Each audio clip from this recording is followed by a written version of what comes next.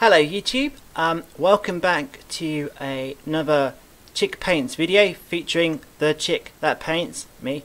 Um, so today I have a unboxing or an unblistering of the brand new Ultramarines Legion Contemptor Dreadnought which we weren't really uh, expecting to get.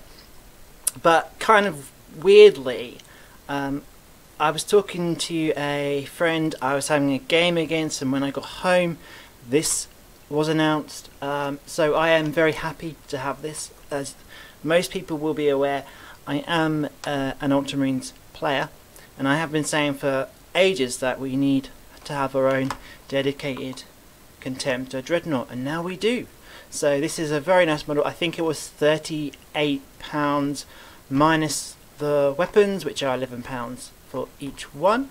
Um, this is a very, very, very nice model. Um, I love it and I cannot wait to paint it because uh, I love dreadnoughts and I love Contemptor dreadnoughts. So, yay. So that covers pretty much everything that I like about them.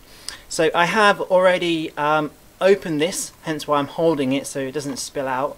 Um, I was going to um, you know, cut it open on camera but I don't want knives really to feature in any of my videos so I have got it here so we'll have a quick look to start with you get the standard um, 60mm dreadnought base um, that's I'm just going to kind of spill it all out and then we can have a look then quite handily the list of parts and then um, you know handy guide to assembling these.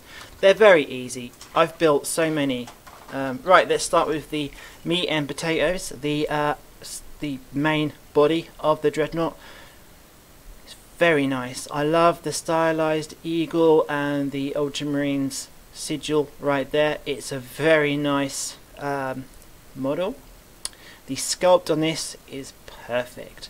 Um, you know, I bought this on the day it was released, so I would expect that the first models to come out of the mould would be of very good quality. Um, so yes, this looks good, it looks nice, I can't wait to paint it. I mean, it is kind of like a standard Contemptor Dreadnought, but just with a very nice um, front and then above where the head would be. Uh, I, you know, I really like the extra attention to uh, detail. Um, it has the shoulders. Um, hopefully, this you can see it has the 13th Legion there, and then the trim going around the um, the shoulders. I really like that as well. I love, you know, it's perfect. Paint gold. Do the lettering, um, rare, uh, white or gold. Um, just stumbling over my words. They do look uh, I don't know, there's a few things here that are slightly different to, um, say, the Relic Contemptor that I recently painted. Um, so the waist you can't see because it's hidden, but it's got a very nice um, sculpted waist. I will find the box again so you can see.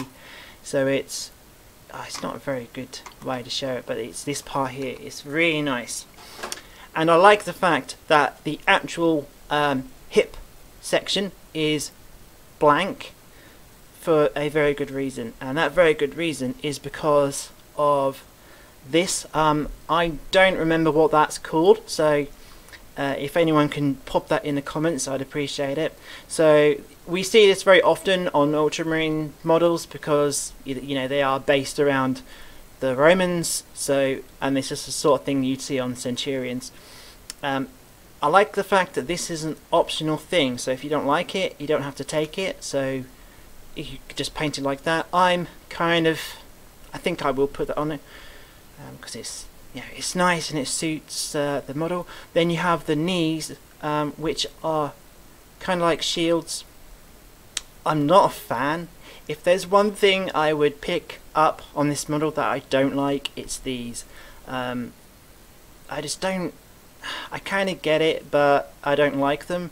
So I might either swap them for uh, other knee pads on other dreadnoughts I have. I think the um, I shall grab it very quickly. I think the uh, these on the Relic Contemptor would suit this model very well.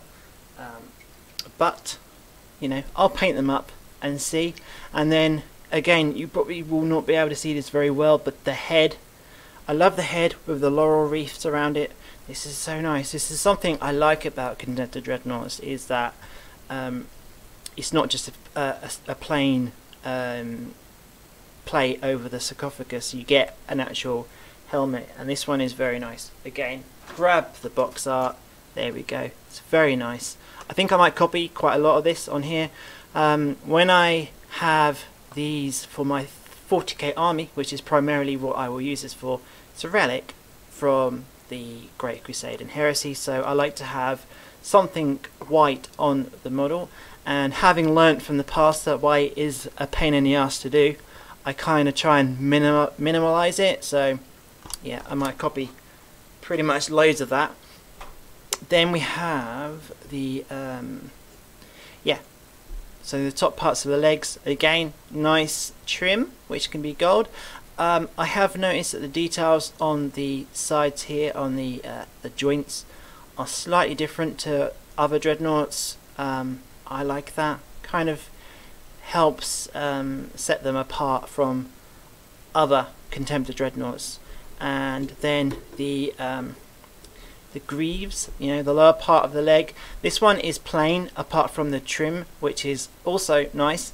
And the inside, I've recently painted a um, relic contemptor. You might know I put it everywhere, and it, it didn't have this part, so um, yeah, it's hard to picture that, but it connects.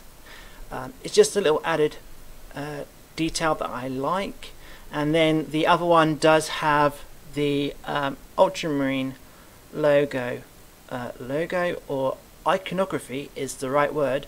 Um, fantastic. The uh, power pack on the back is, yep, what you expect it to be. It is the same.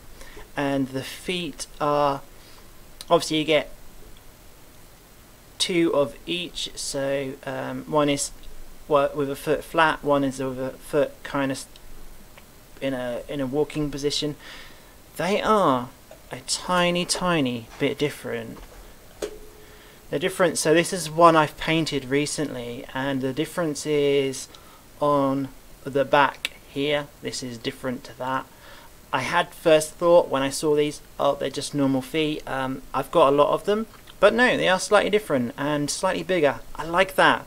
You know, again, it's something that can set the model um, apart from others. Um, let's talk about the actual mold. So these are really good. There is some slight mold slippage here, but it's going to be parts that will be covered. Um, and it's quite easy. It's very shallow, so that will be very easy to fix. You can either um, file it down flat or you can fill it in. It's um, up to you. I'm probably going to just file it down. Um, I have gone over this model quite um, you know intently with a microscope as such to make sure that it is um, very nicely made. And it is very nicely made. As one would expect from a brand new model so that's this this is what I wanted to do just to show everybody um, I will be painting this very soon. Um, so look out for that. There will be links in the description for my uh, social media. So her Instagram, Twitter, um, Discord, and then there's a link to my Patreon. So if you would like to support the channel, um, there's a link there for that. Um, I have to just thank my uh, existing Patreon, so Tim's Hobby Corner and Plutonium OD.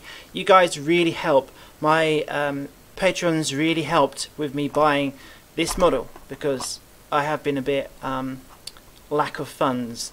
Uh, and there's some things I want to do for my channel. Uh, the cameras I have, like this camera you are using to see my face, I'm using, and this one here, are okay, but I don't think they are going to cut the mustard for painting tutorials, which I will be doing.